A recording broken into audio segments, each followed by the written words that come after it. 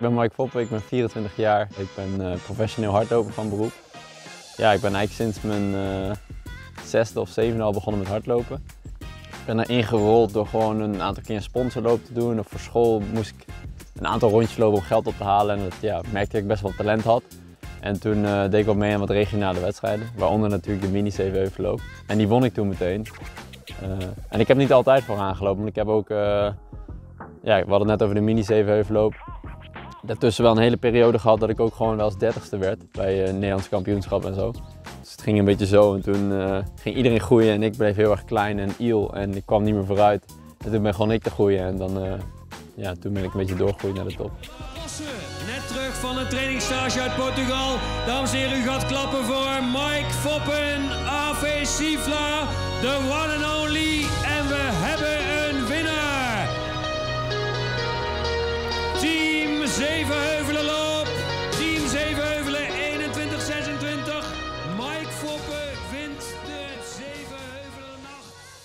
Nou, het was eigenlijk gewoon een idee om alle, alle talenten en alle krachten in Nijmegen te bundelen tot één goed team. En daar is dus Team Zevenheuvel uitgekomen met Zevenheuvelenloop als natuurlijk belangrijkste sponsor.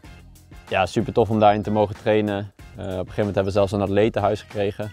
Uh, dus drie hardlopers in één huis. En uh, met hun heb ik gewoon heel veel samen kunnen trainen. En eigenlijk een soort leefstijl opgebouwd die ik nu nog steeds heb. Dus gewoon als fulltime atleet. Ook al studeerde ik toen nog wel daarnaast. wel heel veel geleerd over die periode. Gaat voor het eerst uit huis, dus je moet alles regelen. De was doen, koken, afwassen. wat normaal allemaal voor je wordt gedaan, moet je dan gaan leren. En ja, als topsporter zijn is voeding natuurlijk wel heel erg belangrijk. Dus ja, dat soort dingen zijn wel uh, zijn een hele belangrijke ontwikkeling voor mij geweest. En hij heeft Team Zeeweuvelen en de Zeeweuvelen heel erg aan bijgedragen. Nou, ik denk één belangrijk onderdeel van, ja, van het lidmaatschap van Team Zeeweuvelen was ook de trainingstage, de gezamenlijke trainingstage. Dus we gingen vaak in april met de hele groep naar Portugal. Twee à drie weken gewoon echt met het hele team daar gewoon leven als een prof. Dus alle trainingen samen, eten samen. En ik denk dat je dan echt leert hoe je moet leven om uh, om een prof te kunnen worden. En daarnaast met andere talentvolle jongens trainen uh, en dames is natuurlijk heel erg belangrijk voor je eigen ontwikkeling. Want je pusht elkaar gewoon naar een hoger niveau. Um, dus ik denk op die manier dat het krachten bundelen wel echt is gelukt.